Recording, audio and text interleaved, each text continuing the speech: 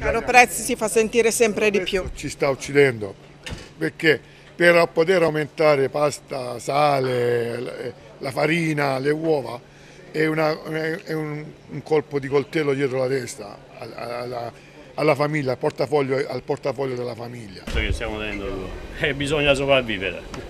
E certo che lo sentiamo molto il caro prezzi e purtroppo bisogna adeguarsi, forse non lo so, la parola giusta, però è così. Il caro prezzi si fa sempre più sentire sulle tasche degli italiani. I pesanti rincari di energia e carburante si riflettono poi sui costi degli alimenti e così le famiglie cercano di fare acquisti più oculati prediligendo prodotti locali acquistati specialmente nei mercati cittadini. Si riesce a combattere il caro prezzi facendo la spesa al mercato?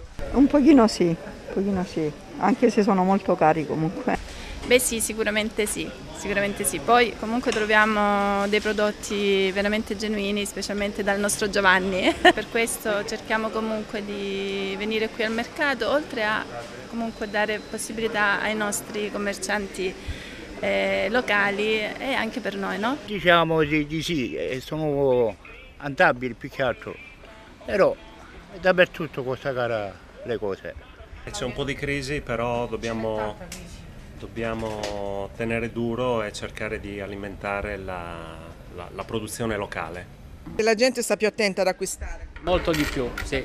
Purtroppo è così.